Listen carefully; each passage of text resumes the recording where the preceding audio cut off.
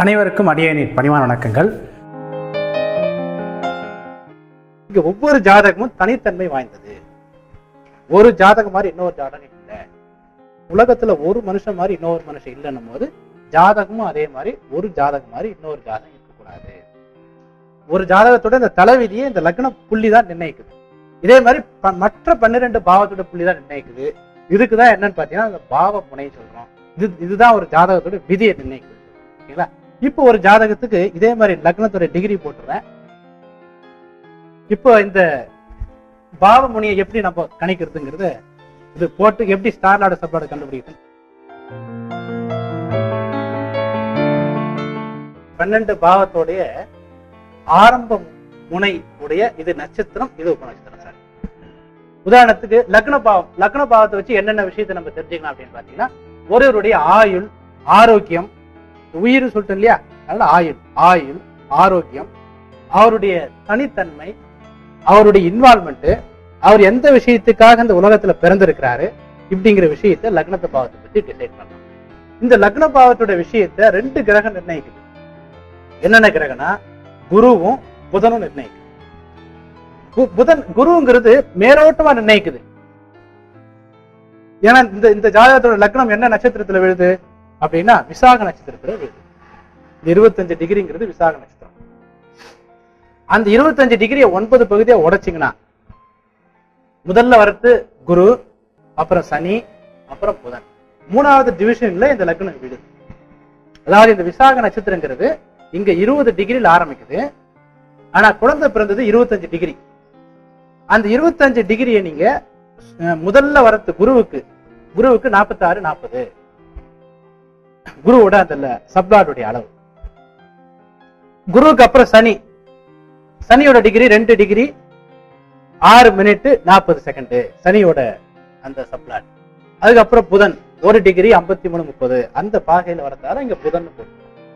அதே மாதிரி ரெண்டாவது வீட்டுடைய நட்சத்திரம் எங்க இருக்குன்னா கேட்ட நட்சத்திரத்துல ரெண்டாவது வீடு ஆரம்பிக்கும் அதை ஒன்பது பகுதியா உடைக்கும் போது ராகு.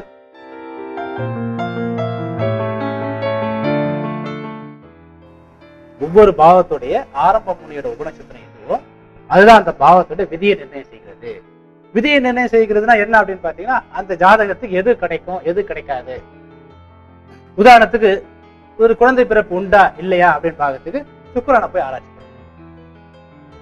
குழந்தை பிறப்போட தன்மை அதாவது அவருக்கு உடல்ல உடல்ல உயிரணுக்களுடைய எண்ணிக்கை அப்படின்னு பார்த்து இந்த சுக்கிரன் தான் ஆராய்ச்சி மன வாழ்க்கை நல்லா இருக்குமா நல்லா இருக்காதா? கணவன் மனைவி ஒருத்தருக்கு ஒருத்தர் அடிச்சுக்குவாங்களா. மனைவியை இவர் அடிப்பாரா? இவர் மனைவி இருந்து இவர் அடி வாங்குவாரா? அப்படிங்கிறது இந்த ஏழாவது பாவத்தை வச்சு தான் அனலைஸ் வீடு நிலம் வாகனங்கள் இவருக்கு இருக்குமா? அல்லது கடைசி வரைக்கும் வாடகை வீட்டில் தான் இருப்பாரா? அப்படிங்கிறத நாலாவது வீட்டை வச்சு அனலைஸ் பண்ணணும் வெளியூர்ல போயிட்டு பழைப்பாரா? இருப்பாரா? அப்படிங்கிறது மூணாவது வீட்டை வச்சு அனலைஸ் இவர் கையில எப்பவுமே பணம் இருக்குமா? பணத்தை நாளுக்கு நாள் நல்லா விருத்தி செய்வாரா அப்படிங்கிறது ரெண்டாவது வீட்டை பத்தி ஆராய்ச்சி பண்ணணும். இந்த மாதிரி உலகத்துல இருக்கிற எந்த எல்லா கேள்விகளுக்கும் இந்த பன்னெண்டு பாவத்துல வந்துடுது. இந்த பாவத்துடைய விதி நல்லா இருந்தா அந்த விஷயம் அவருக்கு எளிதில் கைகூடும் ஓகேங்களா? விதி நல்லா இருந்தா எளிதில் கைகூடும்னா ஒருத்தர் ஏழாவது வீடு நல்லா இருக்கு. திருமணம் வந்து முப்பது வயசுக்கு முன்னாடி தான் நடக்கும். முப்பது வயசுக்கு முன்னாடி நடக்கவே நடக்காது. ஒருத்தருக்கு ஐந்தாவது வீடு நல்லா இருக்குன்னு வச்சுக்கலாம் சார். குழந்தை பிறப்புங்கிறது காலதாமதம் ஆகவே ஆகாது. அவரை பொறுத்த வரைக்கும் அவருக்கு நூறு சதவீதம் ஓகேன்ற மாதிரி. ஒருத்தருக்கு நாலாவது வீடு நல்லா இருக்குன்னு வச்சுக்கோங்களேன். ஒரு நாற்பது வயசுக்குள்ள நிச்சயமாக சொந்த வீடு சொந்த வீடு வாங்கிடுவார். நாலாவது வீடு நல்லா இருந்தா. ஓகேங்களா? ஏன்னா இதுதான் கொடுப்பனைங்கிறது. அதாவது ஒரு விஷயத்தை நீண்ட காலம் வரைக்கும் அனுபவிக்கணும். ஒரு விஷயத்தை ரொம்ப லென்த்தா நம்ம என்ஜாய் பண்ணணும் அப்படின்னா அதுக்கு அந்த ஜாதகத்துக்கு கொடுப்பனை இருக்கணும்னு சொல்றோம். கொடுப்பனைனா விதிங்கிறது. பாவ நிலையம் கிரக நிலையம் உலகத்துல ஒருத்தருக்கு தான் இருக்க முடியும் யாருக்குன்னா இந்த ஜாதகத்துக்கு தான். யாருக்கும் இதே மாதிரி பாவ நிலை வரைய வராது. நீங்க என்னதான் டேட்டை மாத்தி டைமை மாத்தி போட்டாலும் வரவே இந்த முறையோட சிறப்பு அம்சத்தை மட்டும் நான் ரெண்டு வரையில சொல்லிடுறேன். ரெண்டு சிறப்பு அம்சம். என்ன சிறப்பு அம்சம்னா ஒவ்வொரு மனிதருக்கும் தனித்தனி ஜாதகம். ஃபர்ஸ்ட் ரெண்டாவது ரூல் என்னன்னா அனைவரும் குறுகிய காலத்தில் ஒரே மாதிரியாக பலன் சொல்லக்கூடிய முறை. இதுல வந்து நிறைய விதிகள் இல்ல. விதிகள் வெறும் நாலே நாள் தான். விதி விலக்குகள் ஒரு நாலஞ்சு இருக்கும் அவ்வளவுதான். ஆட்சி உச்சம் நட்பு கேந்திரம் திரிகோணம் மாரகாதிபதி பாதகாதிபதி அஷ்டவர்க்கம் தசவர்க்கம் நவாம்சம் தசாம்சம் சோடாம்சம் சப்தவர்க்கம் இதெல்லாம் எதுவும் இல்லை ஆக்சுவலா. உலகத்துல இருக்கிற எல்லா விஷயமும் இந்த பன்னெண்டு பாவத்துல அடக்கலாம். ஓகேங்களா? இந்த பன்னெண்டு பாவத்துல என்ன ஒரு முறைப்படுத்துதல்? இது எல்லாத்தையும் நீங்க மனப்பாடம் பண்ணாம புரிஞ்சுக்கிற டெக்னிக் என்ன அப்படின்னு பாத்தீங்கன்னா இந்த பன்னெண்டு பாவத்துல ரெண்டு பிரிவு இருக்கு. என்ன பிரிவுனா அகம் புறம் அகம் சார்ந்த பாவங்கள். ரெண்டாவது வந்து புறம் சார்ந்த பாவங்கள். புறம் சார்புடைய பாவங்கள். அப்படின்னு ரெண்டு பிரிவு இருக்கு சார். இந்த ரெண்டு பிரிவை புரிஞ்சுக்கிட்டா ஈஸியா நம்ம புரிஞ்சுக்கலாம். அகம்னா என்ன சார் ஆக்சுவலா அகம்னா உள்ளே புறம்னா வெளியே. அகம் புறம்னு சொல்றோம் இல்லையா அகம்ங்கிறது என்னன்னா உள்ளுக்குள்ள மனம் சார்ந்த மனம் சார்ந்த விஷயங்களை வச்சு சொல்றது அகம். புறம்னா வெளியே. ஓகேங்களா? புறம்ங்கிறது வெளியிலிருந்து வரக்கூடிய விஷயங்கள் எல்லாம் புறம். இதுல ஒற்றைப்படை பாவங்கள் எல்லாம் அகச்சார்புடைய பாவம் சொல்லுவோம் அதாவது ஒன்று மூணு ஐந்து ஏழு ஒன்பது பதினொன்று. இதை வந்து அகச்சார்புடைய பாவங்கள் சொல்லுவோம். இதை வந்து என்ன சொல்லுவோம்னா புறம் சார்ந்த பாவங்கள் சொல்லுவோம். அது மாதிரி ரெண்டு பிரிவாக பிரிக்கலாம். அகம் சார்ந்தது புறம் சார்ந்ததுன்னு ரெண்டு பிரிவாக பிரிச்சுட்டா உங்களுக்கு அழகா பிரிச்சிடும் அதாவது உலகத்துல இருக்கிற எல்லா விஷயத்தையும் நீங்க ரெண்டு பிரிவா தான் பிரிக்க முடியும் மேஜரா ஓகேங்களா அதாவது ஒரு டாக்டர் இருக்காருன்னு வச்சுங்களேன் ஒரு டாக்டர் அவருக்கு அரசியல் கலை இலக்கியம் சம்பந்தமான வகையிலையும் கொஞ்சம் நாலேஜ் இருக்குன்னா அவர் எல்லா புக்கும் வாங்கியாந்து வச்சிருக்காருன்னு வச்சுங்களேன் அவர் என்ன பண்ணுவார்னா மருத்துவம் சம்பந்தமான புக்கை தனியாகவும் அவருக்கு பொழுது போகாதிருக்கும் போது படிக்கிறதுக்கான புக்கை தனியாக வச்சுக்குவார். அப்படி வச்சிருந்தா அவருக்கு ஈஸியா இருக்கும். எல்லா புக்கும் ஒரு குப்பை மாதிரி போட்டா என்ன வேணா தேடுறது கஷ்டமா இருக்கும். அதே மாதிரி நம்ம ஜாதகம் நம்ம ஜாதகத்துல இருக்கக்கூடிய விஷயங்கள் காரகங்கள் ஜோதிடத்துல இருக்கக்கூடிய காரகங்கள் வந்து பாத்தீங்கன்னா ஒரு இடியாப்ப மாதிரி இருக்கும். எது ஆரம்பம் தெரியாது எது முடிவும் தெரியாது. இது மாதிரிதான் ஜோதிடம் இருக்கு. ஆனா என்ன அப்படின்னா அதை தனித்தனியா நம்ம பிரிச்சு பழகிட்டா ஈஸியா புரியும். அந்த தனித்தனியா பிரிக்கிறது என்னன்னு பாத்தீங்கன்னா அகம் சார்ந்தது புறம் சார்ந்தது தனித்தனியா பிரிக்கணும். உலகத்துல இருக்கிற எல்லா விஷயமும் அகம் சார்ந்தது புறம் சார்ந்ததுதான். அதுக்குதான் இதிகாசங்கள்ல ரெண்டு இதிகாசங்கள். ஒண்ணு ராமாயணம் ஒண்ணு மகாபாரதம். ராமாயணம் என்ன சொல்றதுன்னா அக வாழ்க்கையில் இருக்கக்கூடிய தவறுகளை சுட்டி காட்டுதான் ராமாயணத்தோட தன்மை. ராமாயணம் என்ன சொல்லுது சார் ஆக்சுவலா ராமனுடைய சொத்துக்களை புடிங்கிட்டு வரத்துக்காக தான் ராவணன் வந்து சீதை அழைச்சிட்டு போனாரா? அப்படின்னா என்ன பண்ணிருக்கணும் அவரு? பரதனை பொண்டாட்டி பூச்சிட்டு வந்து என்னங்க சார். ராமன் கிட்ட ஒண்ணும் இல்லாம ராமனுடைய மனைவி ஏற்றது ராமனுடைய பொருளுக்காக இல்ல. அது இந்த ஐந்தாவது பாவம் கெட்டு போனதால வரக்கூடிய விஷயங்கள்.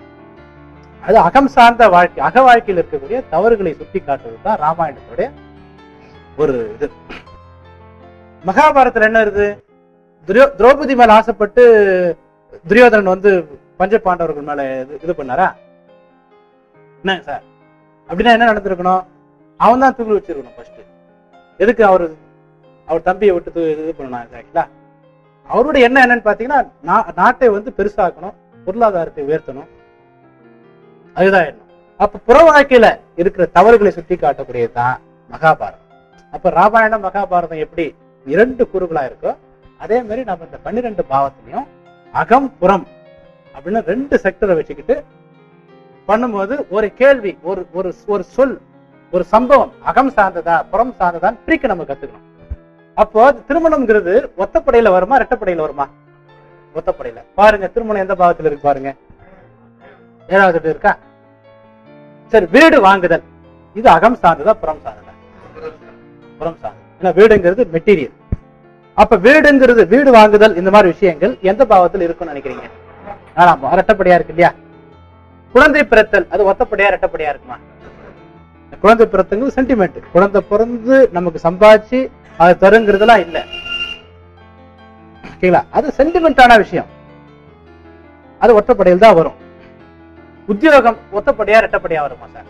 சென்டிமெண்டா உணர்வு சார்ந்ததா அதாவது அகம் சார்ந்ததா புறம் சார்ந்ததா? உத்தியோகம். புறம் சார்ந்தது. இந்த மாதிரி ஒவ்வொரு இந்த ஒற்றைப்படை பாவத்தில் இருக்கிற விஷயங்கள் எல்லாம் பார்த்தீங்கன்னா மெட்டீரியல் சார்ந்த விஷயமா இருக்கும். இரட்டைப்படை பாவத்தில் இருக்கிற விஷயங்கள் எல்லாம் மெட்டீரியல் சாராத விஷயமா இருக்கும். இந்த ரெண்டு கூறு நீங்க பிரிச்சுக்கும் போது இதுக்கப்புறம் நம்ம தனித்தனி டிவிஷன் டிவிஷனா உள்ளுக்குள்ள பிரிச்சுட்டு வந்துடலாம் அப்ப உலகத்துல இருக்கிற எல்லா விஷயத்தையும் முதல்ல இது அகம் சார்ந்ததா? இது புறம் சார்ந்ததா?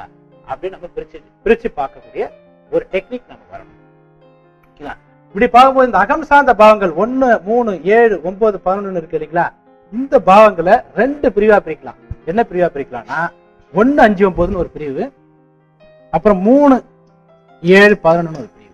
அதே மாதிரி இந்த ரெண்டு நாலு ஆறு பத்தை ரெண்டு பிரிவா பிரிக்கலாம். அது என்ன அப்படின்னு பாத்தீங்கன்னா ரெண்டு ஆறு பத்து நாலு எட்டு பன்னெண்டு. அதாவது என்ன பண்றோம்?